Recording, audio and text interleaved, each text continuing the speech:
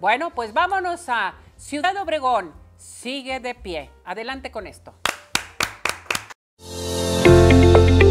Ciudad Obregón sigue de pie.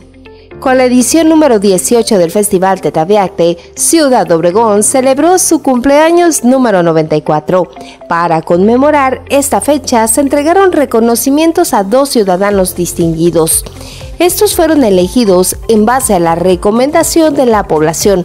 Se trata de la licenciada María del Rosario Oros, mejor conocida como Chayito, que se ha distinguido por su incansable labor en el ámbito de la promoción social, así como el doctor Teodoro Bojorquez Durán, quien durante 41 años de trabajo se ha ganado el respeto tanto de sus colegas como pacientes, muchos de ellos agradecidos de su atención que en muchos casos ha sido gratuita cuando las condiciones así lo ameritan.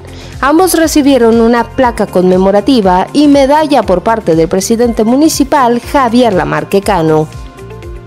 El Festival Tetaviacte es ya toda una tradición y en esta ocasión presentó a una importante cantidad de talentos de nuestro estado.